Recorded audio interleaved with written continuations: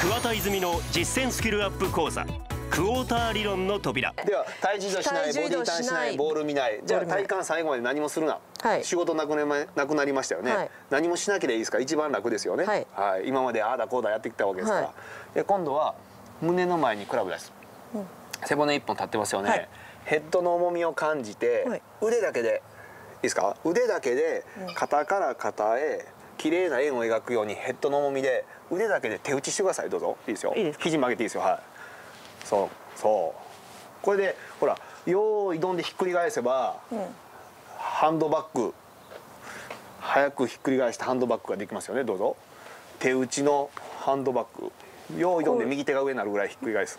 そう。はい、OK そう。それでいいですで体重移動しないボディターンしないボール見ない肘曲がる早くほどくひっくり返すハンドバッグフォロー小さい全部できたじゃないですか。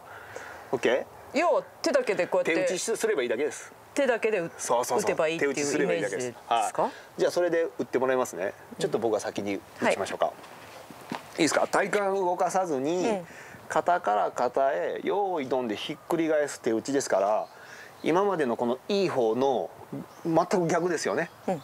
はいでハンドバッグだからもちろん低いフック左下にフックします、はい。じゃあこのまま斜め下向いて足を広げてしゃがんで手打ちしますよ。はい。軸に対して横振りを斜め下に向けただけです。でも軸に対しては横振りですよ。肩から肩へ、はい、で手打ちすると芯に当たったら低いフックします。はい。でもこれ綺麗にスイングプレーになってますからね。はい。で今は縦のトルクの仕事です。はいフックの要素なんで低いフックしたら正解です、はい。低いフックが出れば正解。手打ち？手打ちね。ほら低いフック全部打てるじゃないですか。本当だ。はい簡単ですよね。はい。じゃあこれ横のしなりと縦のフック足しますよ